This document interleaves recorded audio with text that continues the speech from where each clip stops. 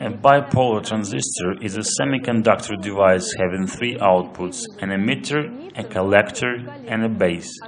The basis of a bipolar transistor is formed by two p-n junctions. Depending on the positional relationship of the p-n junctions, transistors are divided into PNP and NPN types. If a voltage is supplied to the emitter and collector, the transistor will not conduct the current. It means it will be closed. For the transistor to open and conduct the current, the transistor base is to be supplied with a control potential to set the base current.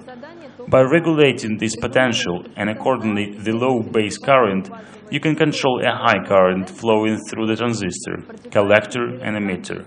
A current gain, which is the ratio of collector current to the base current, is one of the main characteristics of a transistor.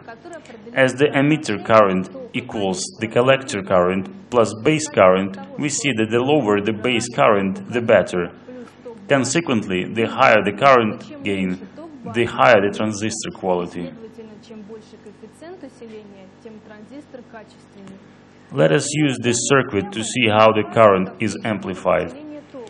The rheostat slider is in its stop position. A positive potential is at the transistor base. The transistor is closed.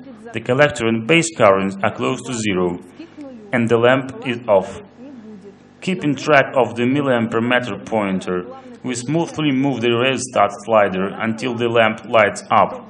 The base current is no more than 3 milliampere, though about 200 milliampere are needed for the lamp lighting up. That is, by controlling a low base current, we are able to control a high collector current. This is the current amplifying function of the transistor.